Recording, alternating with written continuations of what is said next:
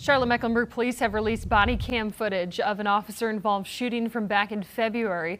It happened at the Fast Mart convenience store off of Beatties Ford Road when police were responding to an armed suspect. And we want to warn you that some of the video may be hard to watch. Queen City News anchor Annie Satowski has a look at that footage.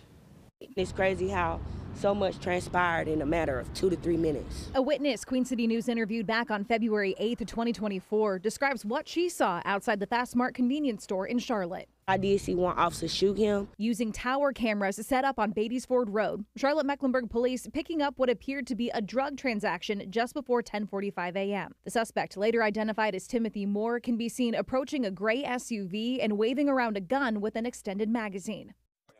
Officer Atwood was one of the first responding officers. His body cam shows him approaching Moore, who takes off running. 10 10. What's up, bro? CMPD says Moore grabbed a gun and turned towards officers, prompting Officer Atwood to fire one shot, grazing his arm. Stay down, stay down.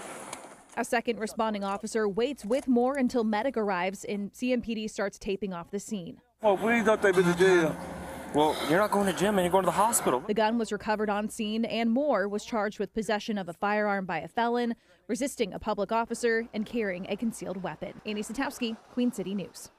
And CMPD's Metro Division set up the tower cameras sparked the initial response after numerous reports of gun and drug activity now in that area.